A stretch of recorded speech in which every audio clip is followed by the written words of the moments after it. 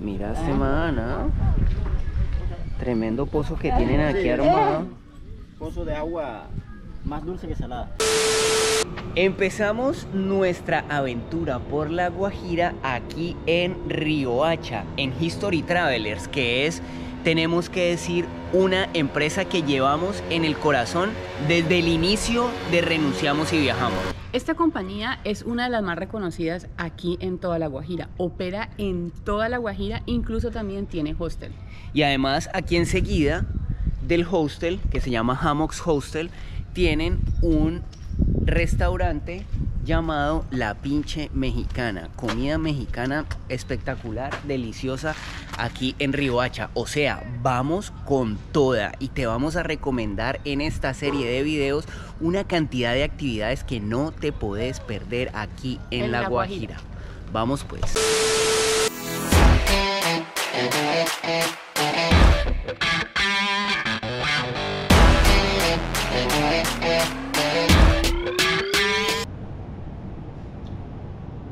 Chilaquiles Sí, empezamos con desayuno de campeones. para recargar energías para todo lo que se viene, porque tenemos una expedición bastante tremenda, ¿no? Sí, hoy la expedición está bastante larga, pero bastante interesante. Aparte de eso, también recordar los lugares en los que ya estuvimos, porque hace nueve años visitamos también este lugar. Así que a comer. Listo, ahorita ya estamos en el corregimiento de Camarones. Aquí vamos a hacer varias actividades, pero una de las actividades más representativas es el avistamiento de flamingos. La icónica, la, la que no se puede perder nadie que venga por acá.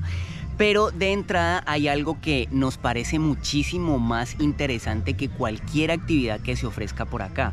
Y es la reconstrucción del tejido social de las comunidades a través del turismo. Repitamos eso, Lina, porque es demasiado importante. La Recon- reconstrucción del tejido social a través del turismo. porque sí, Por ejemplo, aquí esto, esta comunidad está organizada a través de una asociación que se llama Wim Hof Association, que es que está buscando que los jóvenes también se involucren en el fortalecimiento y también en la conservación de este lugar. Resulta que estas personas se dieron cuenta que la opción de sacar a la Guajira de la pobreza, del abandono, es a través del turismo. Que personas como tú y como nosotros vengamos acá a disfrutar de las maravillas naturales, a aprender de los usos y costumbres de las comunidades y al mismo tiempo a dejar nuestro dinerito por aquí, porque eso es algo que lleva muchísimo más desarrollo que la minería, que podríamos decir abiertamente y sin ninguna pena es una de las causantes de que esta situación tan grave viva la Guajira, pero de eso no vamos a hablar todavía.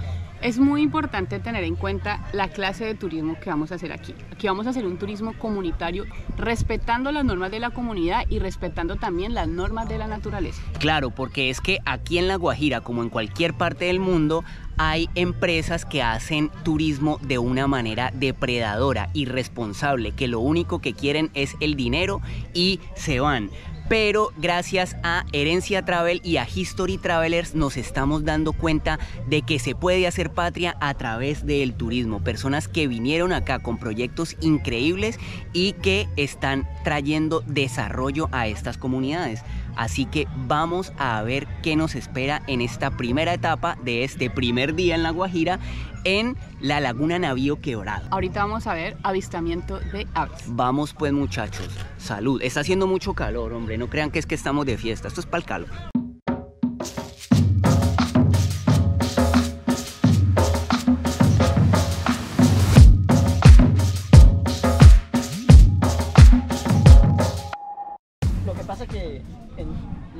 Asentadas en este territorio, el agua anteriormente la sacaban de manantiales como este.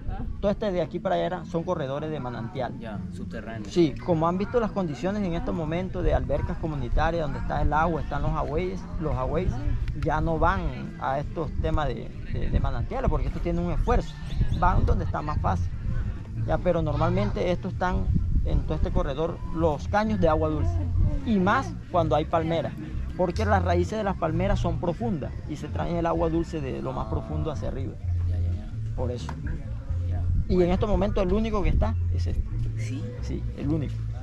Seguramente, si estás viendo este video, puede pasar que asocies el nombre de la Guajira con sequía, con escasez de agua.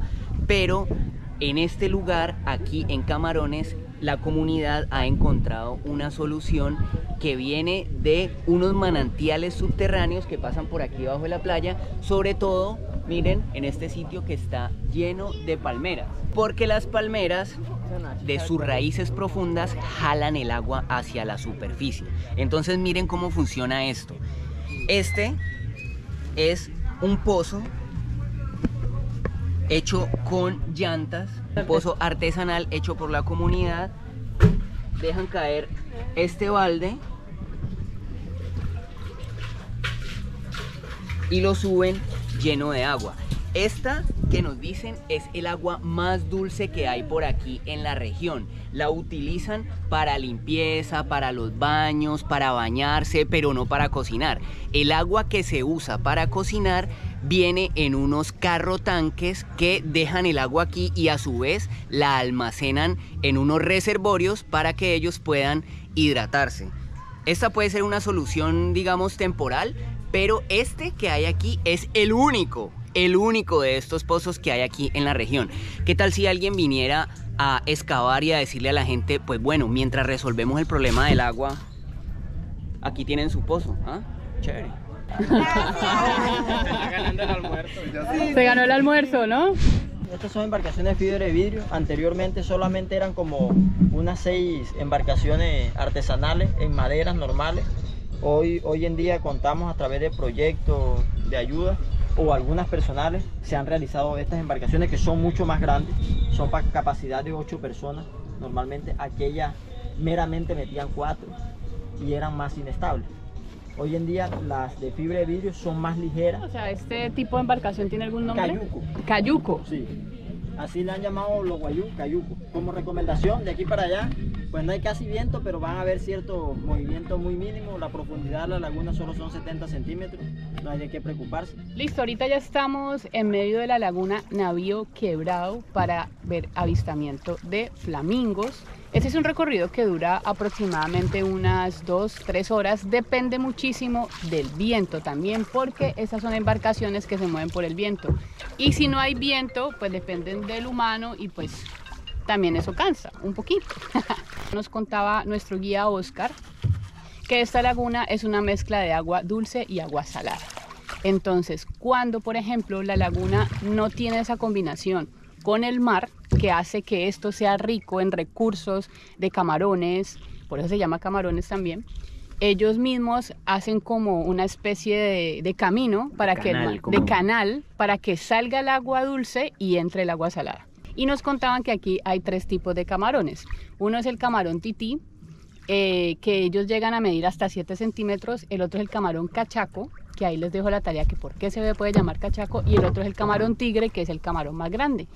Interesante es que ellos esperan un proceso para poderlos capturar, para que cojan el tamaño ideal y así poderlos pescar, Para que no se extingan. para ¿no? que no se extingan. Es un proceso de conservación también.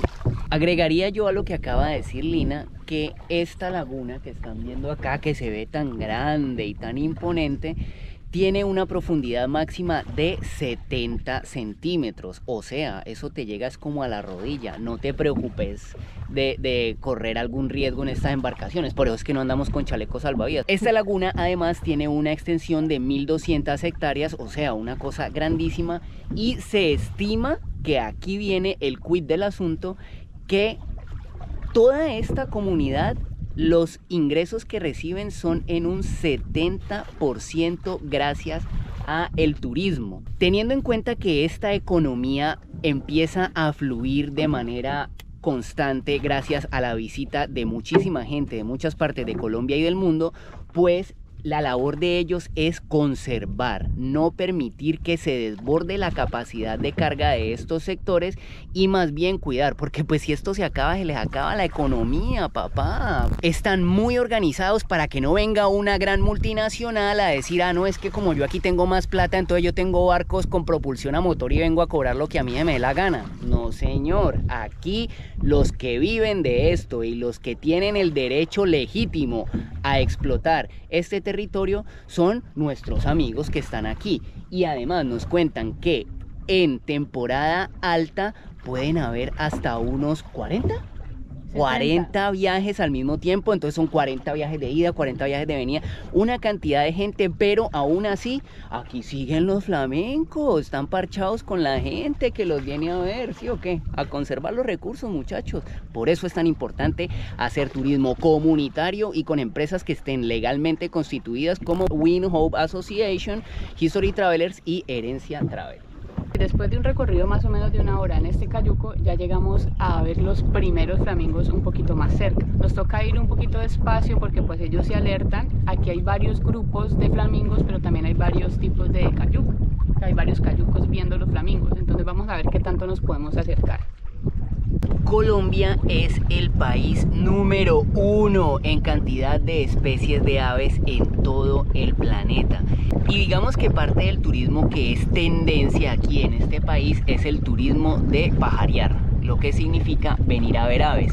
Trajimos la cámara grande con un lente con un zoom 300 para tratar de hacerle justicia a lo que estamos viendo acá. Pero muchachos, ustedes lo que tienen que hacer es venir, venirse para acá, programar, porque no hay pantalla que pueda justificar la belleza que estamos viendo en este momento. Es una locura, se lo juro.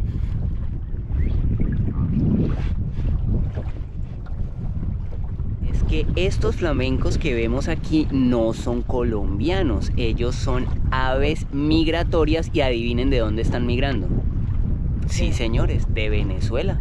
Hay una cantidad de aves que vienen de nuestro hermano país y pasan temporadas por acá, otra temporada en otro lado. Los flamencos cuando nacen, nacen de color blancuzco grisáceo.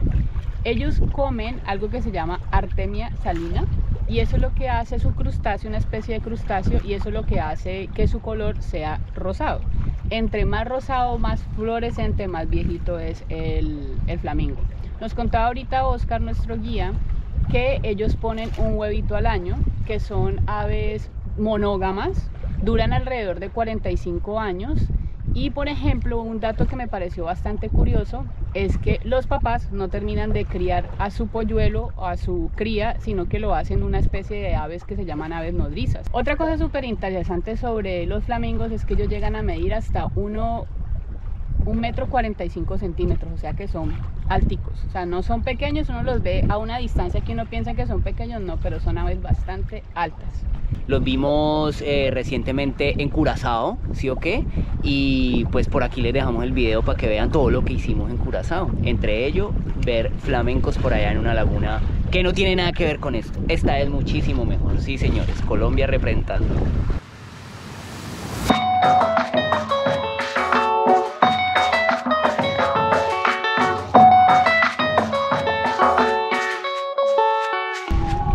Gustan estos videos? Tenemos muchísimos más, seguimos viajando por el mundo. En 2024 vamos a dar una vuelta al mundo impresionante, así que debes suscribirte ya mismo a este canal porque te estamos dando consejos y te estamos mostrando cosas lindas de cómo funciona el mundo. Suscríbete.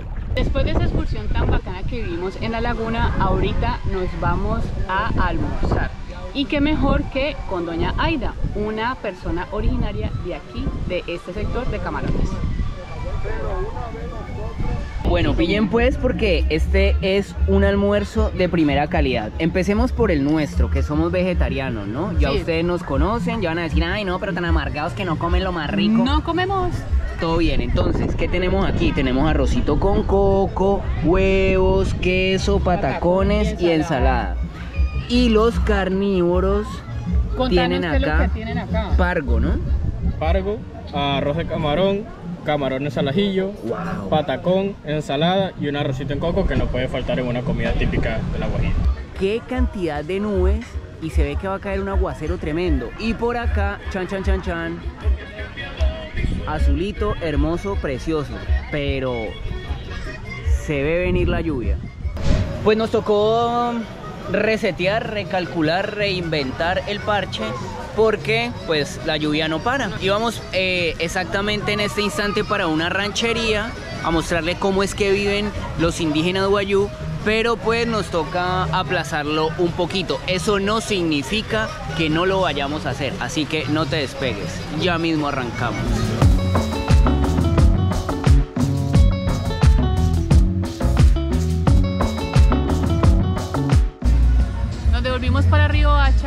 Esperamos a que escampara y pudimos salir. Ahorita estamos en el malecón de esta ciudad, que es una de las cosas que uno tiene que hacer cuando viene acá a esta capital. Pues este es un punto de venta de artesanías, de comida y en la noche un lugar muy lindo como para tomarse una cerveza, disfrutar de la playa. Muchas gracias. A usted gracias. Una cosa que definitivamente uno tiene que hacer acá es comer cocadita. Y por ejemplo estas cocadas nos costaron 2 por 5 mil. Y este malecón, aquí en esta playa tan grande que hay en plena ciudad de Río Hacha, pues pinta como ser el parche tanto de locales como de los turistas. Porque miren, se fue la lluvia y empieza un movimiento de gente bastante interesante, espectacular. Lo único si es una recomendación que si hacemos, independientemente del lugar en el que esté, en la playa en la que estés, llévese la basura. Porque en este momento la playa está sucia. Entonces eso depende mucho de uno mismo, de llevarse su propia basura y decirle también a los demás. Nosotros no es que seamos muy amantes de meternos al mar porque sí, como, como que, oh, mar, vamos para adentro. No, no, no. Pero, pero sí nos gusta por lo menos venir a darnos un bañito de ojo. Ver a la gente que está disfrutando aquí en el sector, echarle un ojo a cómo se desenvuelve la cultura del día a día en el lugar donde estamos, eso nos parece espectacular. Y por eso elegimos venirnos a ver el atardecer aquí en este muelle para mostrarles a ustedes también que la lluvia no nos arruinó del todo el parche. Por eso es que este es conocido como el país de la belleza, porque esto está al lado de la playa, este país lleno de montañas, tiene nevados, tiene desiertos, pueblitos, cultura, gente linda por todo lado. Colombia el país de la belleza, el país que tenés que visitar.